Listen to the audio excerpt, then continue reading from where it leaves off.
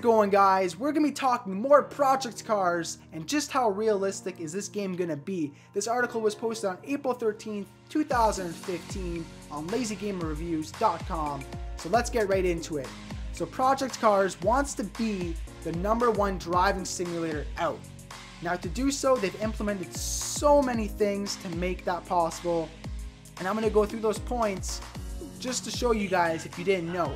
Now I'm going to use Forza Motorsport 5 as an example. I usually don't like using Forza as an example because those are one of the games that I play a lot on my channel and I absolutely love. I'm not bashing the game in any way, shape, or form. I am just comparing the two and just showing how much more realistic Project Cars wants to be compared to a game like that. It's on a whole different caliber and I would at this point I wouldn't even put Forza 5 on the same level as what Project Cars wants to do.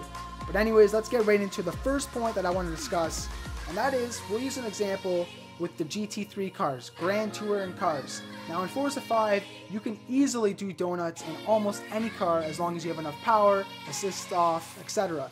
Now, in real life, and what's going to be implemented in Project Cars, is that's not going to be possible. You can't do burnouts in GT3 cars, and they say that because even though these GT3 cars have a lot of power, that does not mean that they are going to be transferring all that power to the ground.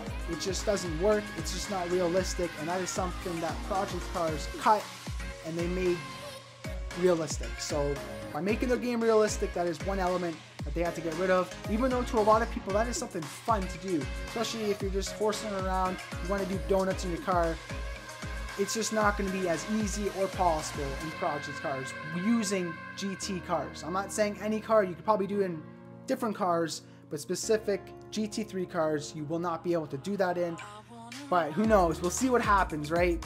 Things might change. People might come up with weird tunes. Who knows? I'm just saying, realistically, this is what they want to do, and that is one element that they've that they've implemented.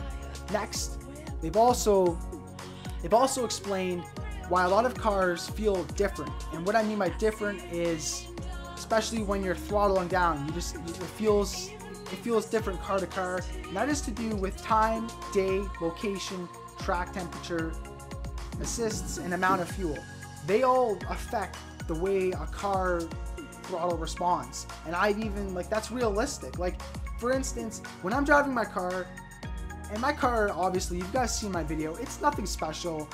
But you know, I've done a few, you know, mini races with my friends and shit, horsed around, and I found that when the car is on lower fuel, it seems to be it seems to have a little bit of a lag, like a throttle lag, compared to if I filled the thing up. If I filled the gas tank right up to the rim, put a full tank of gas in the car, it has a way better throttle. I mean, it just responds way better. Whereas if I don't have a lot of a lot of fuel in my car, you know, there's a sort of lag and it, it, it, makes your car slower off the line. And that is something they're going to be implementing, which is awesome. I love that. And not only that, tires. Tires are a huge thing in racing. If you have shit tires, you're going to have shit grip, you're going to have shit power because where the power is in the engine isn't going to get to the tires properly. So, I mean, even though your car might have 600 horsepower, if you have shit tires, you may only be getting like 200. Who knows, right? So, that's another element that they're going to be adding. And obviously, the location and track temperature makes a huge difference. I mean, with the track temperature, if it's very hot, it's going to be more grippy for the tires, whereas if it's really cold, it's going to be less grippy. And that is something they're going to be implementing, which Forza has already kind of done that, granted, but Project Cars is going to be really, really stepping it up and making it even more realistic than it already is, which is going to be amazing. And last this is another thing that they've discussed that will be implemented is a lot of people say when they're driving, especially in Forza and I, would actually say in any racing game, when they're driving certain cars and it's just not working out for them. I mean, I've even complained about it. They'll be saying something like, oh, this car understeers too much or oversteers too much, etc. And that's that that's not just a bug in the game, that's a feature that's been purposely added because some cars do that and it's based on the way it's tuned. Whether it's the way the tires have been tuned or the aero's been tuned, it all affects the way a car over or understeers, especially on a track.